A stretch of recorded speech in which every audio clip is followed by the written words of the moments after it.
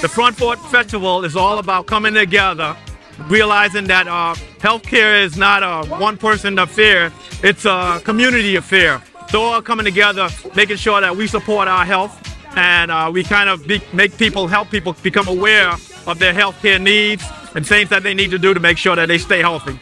I'm always excited about it when we got people out. We got the kids out here, we got the parents, the adults. We got, uh, you know, just people from all of all ages out, and uh, they're kind of enjoying each other. They're also taking the opportunity to learn about different uh, needs that they may have and uh, ways that they can support that.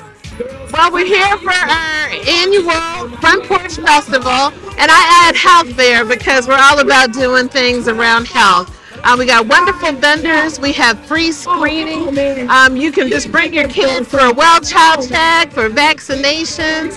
Um, it's all about the health of the family and a lot of fun. I'm really excited uh, to be here with Jordan Health for their Front Porch Festival because they really are a partner in our community that help our community stay healthy. So we all know when we're busy as parents, as grandparents, as caregivers, maybe you miss a doctor's appointment, maybe it's hard to go over and get your blood pressure screening, all of these different things. So the exciting part about this is you're just bringing everybody together. You got food, you got games, you got things for the kids to do. You can get your blood pressure taken, you can get your screening, you can even get a mammogram here today, right? And so Jordan Health is one of our only federally qualified health centers that really make sure that our community stays healthy. So we got to make sure we support them uh, every year. Again, I want to thank Dr. Clark and the folks and the workers from Anthony Jordan Health.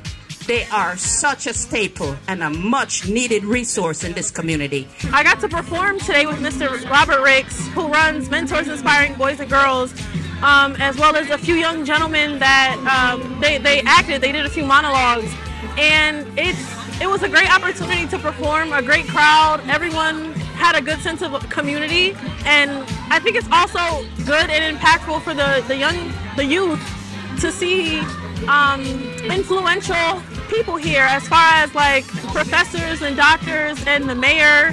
Um, and it's a good sense of leadership and influence here as well to, to, to make a make a difference and inspire many causes. You have to make sure that you are feeling good by mind, body, and spirit and you can get those support, that support and those services right here in the neighborhood. And that is what makes Jordan so very unique and why Jordan is such an important part of our community. I really hope that um, everyone takes advantage of all the great organizations that are out here. As I look out and I see all the organizations that are here, it reminds me of how blessed we are in the community